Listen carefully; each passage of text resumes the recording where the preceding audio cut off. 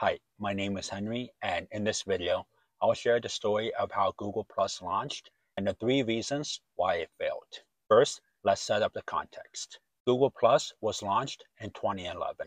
This was Google's fourth attempt at creating its own social network. The goal was to take market share from Facebook and Twitter. With Google Plus, users can post and share content with their friends. But the main value proposition was a special feature called Circles which allow users to group their friends and control the content they share with each group. Google Plus got early traction, but by 2018, it shut down due to low usage.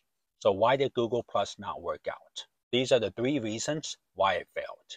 Reason number one, the value proposition was not strong enough. Users didn't see a compelling reason to switch from other platforms. Circles was interesting, but it wasn't a must-have for users. Reason number two, Google forced users to join Google+. For example, if you had a Gmail or a YouTube account, you would get constant notifications to create a Google Plus account. This made Google Plus look desperate and turned people off. Reason number three, focus on vanity metrics. Google focused on user growth as a metric instead of engagement.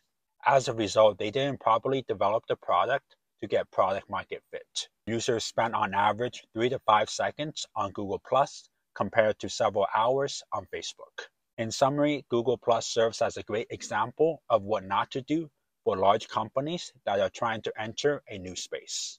The focus should be solving a real customer pain point, getting users to sign up organically, and measuring growth based on engagement. That's all for today. If you enjoyed this video, please give it a like and comment below on what kind of videos I should make next. Till next time, see you.